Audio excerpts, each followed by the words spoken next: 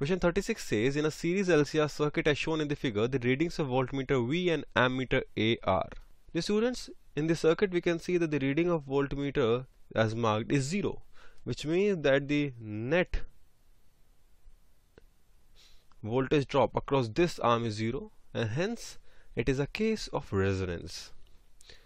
The total potential drop will be across the resistance only and hence this voltage will read 400 volt that is the reading of the source and the ammeter will read 400 by 100 that will be 4 amperes.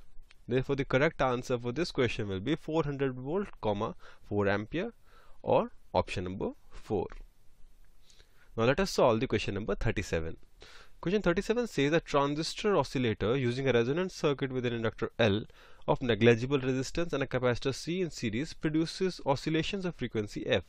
If L is tripled and C is changed to 4C, the new frequency will be.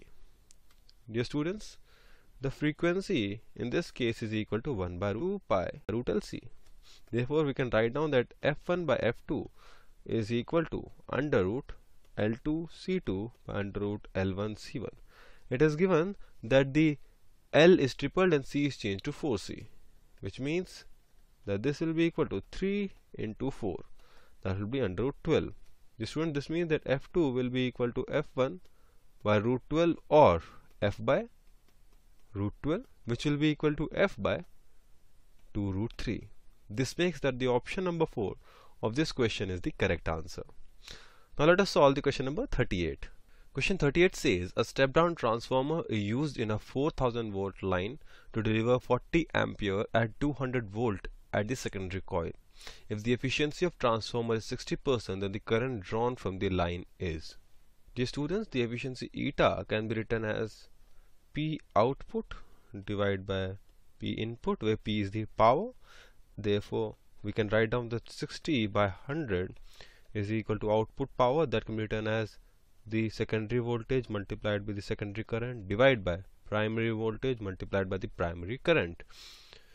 The students on substituting the given values that is the primary voltage is given to be 4000 volts the secondary current is 40 amperes the secondary voltage is 200 volt we can write down that 60 by 100 is equal to 200 into 40 divided by 4000 into i primary and on solving we get a value of i to be equal to